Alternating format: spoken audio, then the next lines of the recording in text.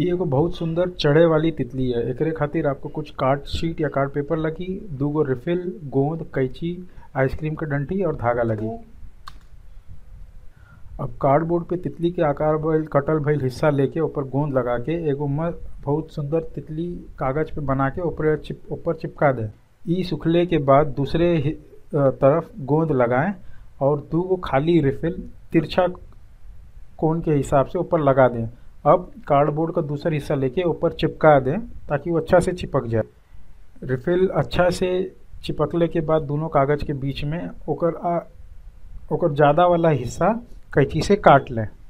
अब आप लोग देख सकते हैं ओकर पीछे का हिस्सा कैसा हवे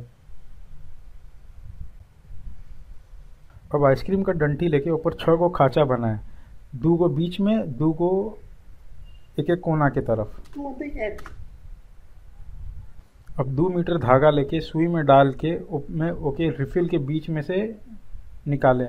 वह सुई लेके, दूसरे रिफिल के बीच में से धागा के साथ निकाल लें।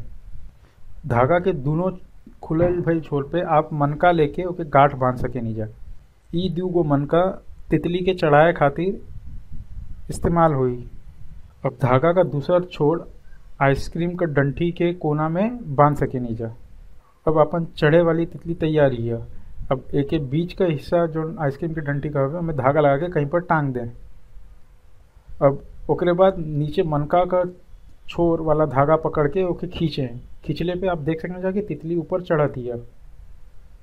जैसे ही आप मनका के हाथ से छोड़ देगा तितली अपने वज़न से ही खुद नीचे आ जाएगी।